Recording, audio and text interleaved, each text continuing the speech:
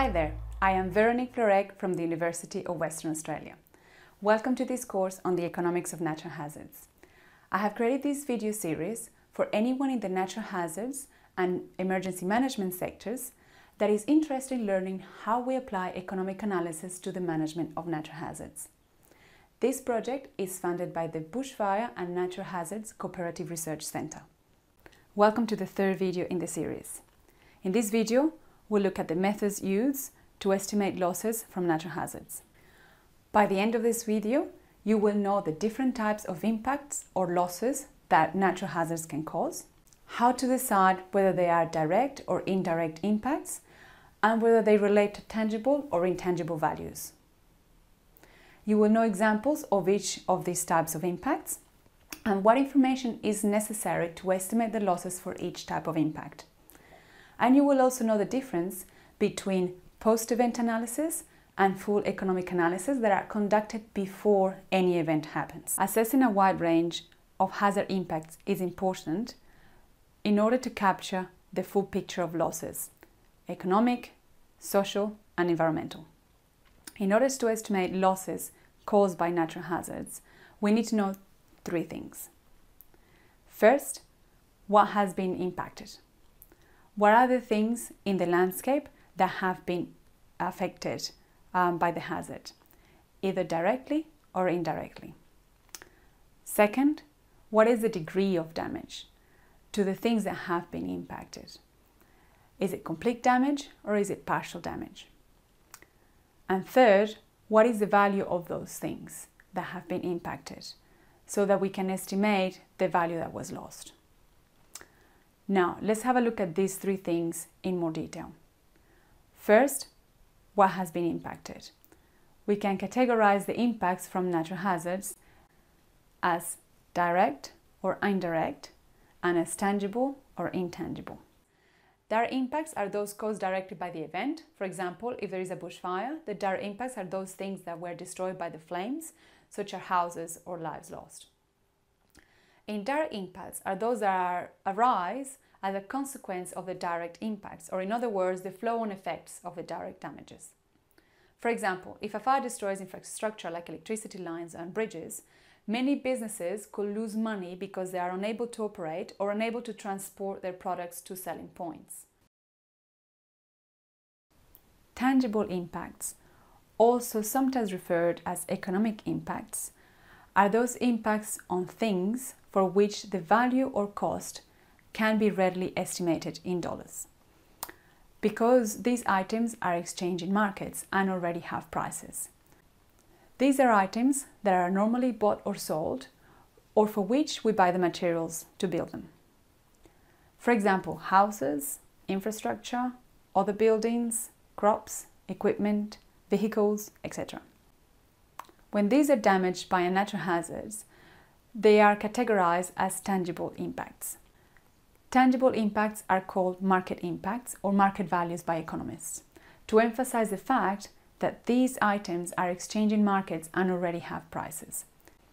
Intangible impacts, also referred to as social and environmental impacts, concern those things that do not, are not exchanged in markets, so they are not normally bought or sold, and therefore do not have a price.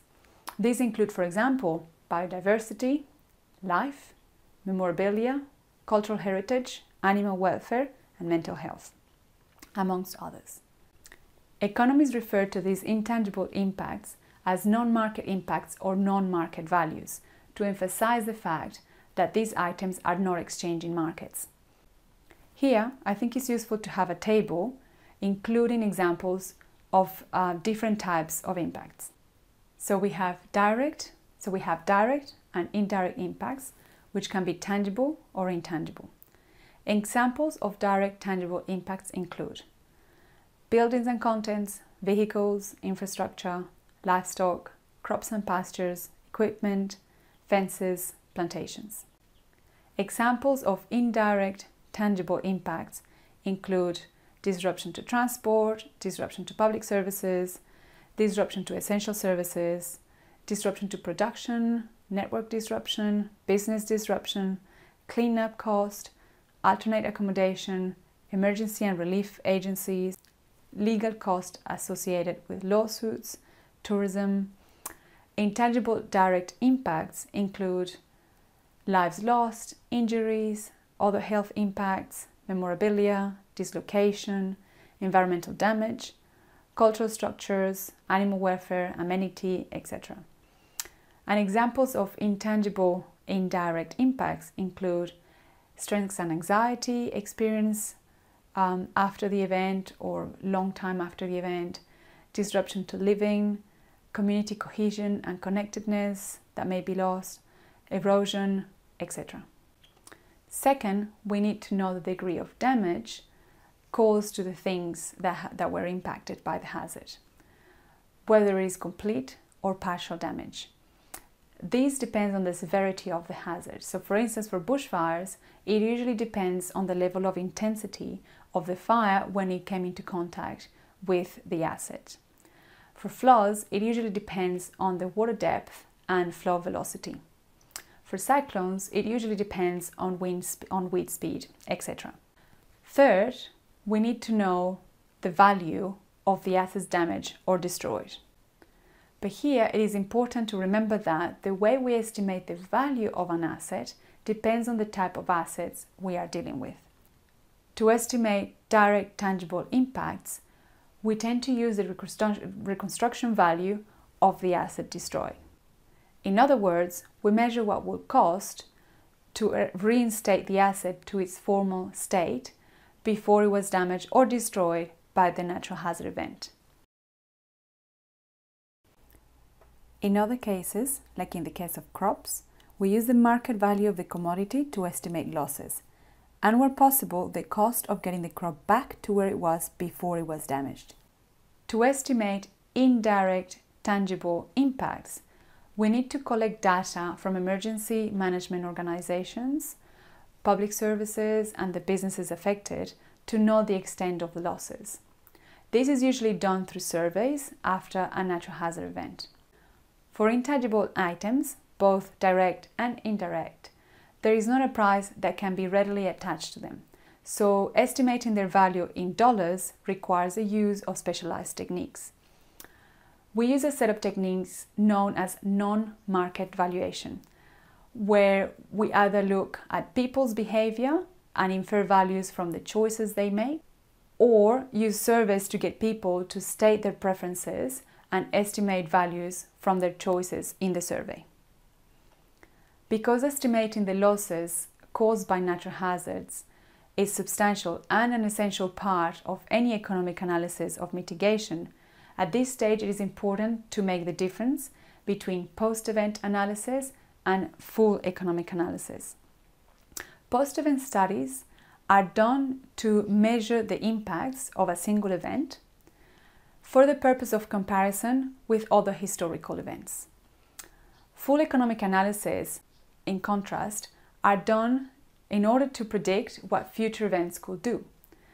And these are for the purpose of making strategic decisions, uh, for example, to improve the allocation of resources, uh, make decisions about mitigation or land use planning, uh, for reducing the impacts of future events, etc. A post-event analysis, such as cost of impact assessment, is done after the event has occurred. In this case, the number of assets affected um, and how they are affected by the event is already known. For instance, we know how many houses were destroyed, how many people lost their lives, or how many people were injured. Uh, we know what infrastructure was damaged and to what extent and we know which ecosystems were affected. So in this case, all we need is the value of the assets affected. We have already the other, the other part of the information that we need.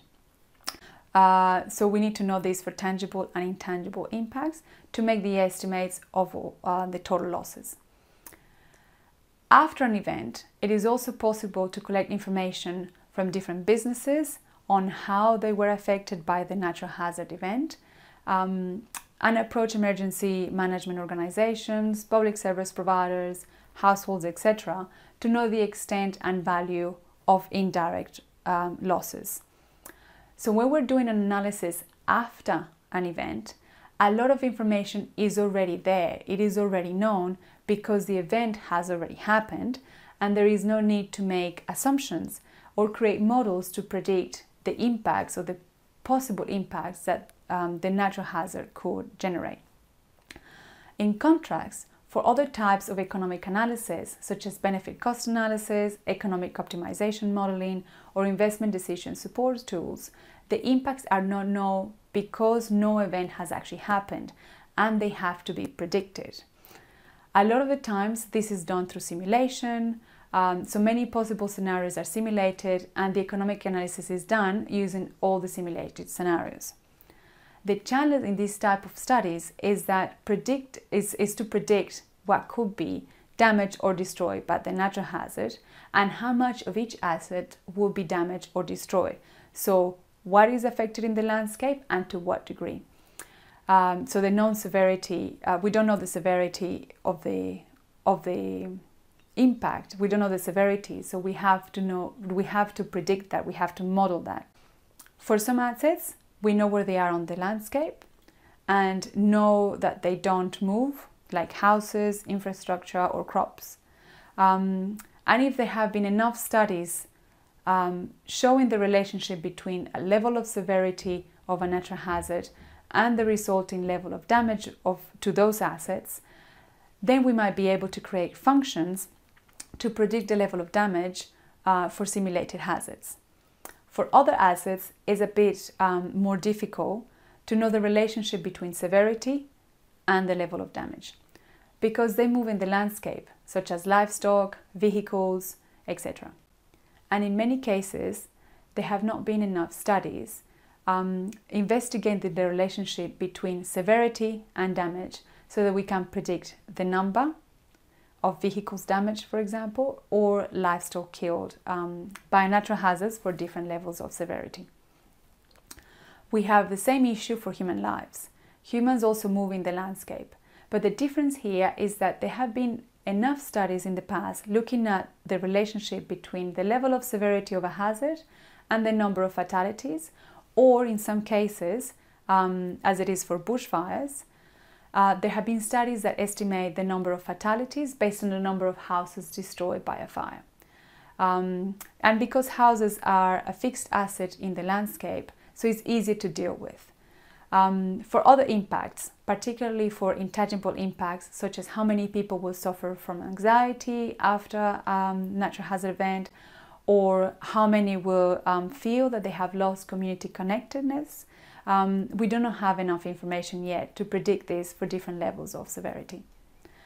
Unfortunately, because of the difficulties in predicting the potential impacts to intangibles um, from natural hazards, and given the difficulties in assigning dollar values to some intangible, many are still rarely included in full economic analysis and strategic decision making. Now, to summarize, we have four different types of impacts or losses caused by natural hazards direct impacts, indirect impacts, and these can either be tangible or intangible. Tangible impacts are also called market impacts, and intangible impacts are also called non market impacts. We saw a few examples of each type of impact. Direct impacts are those caused by the event coming into contact with them. So, when an asset is directly damaged by the flames or the water or the wind of a natural hazard.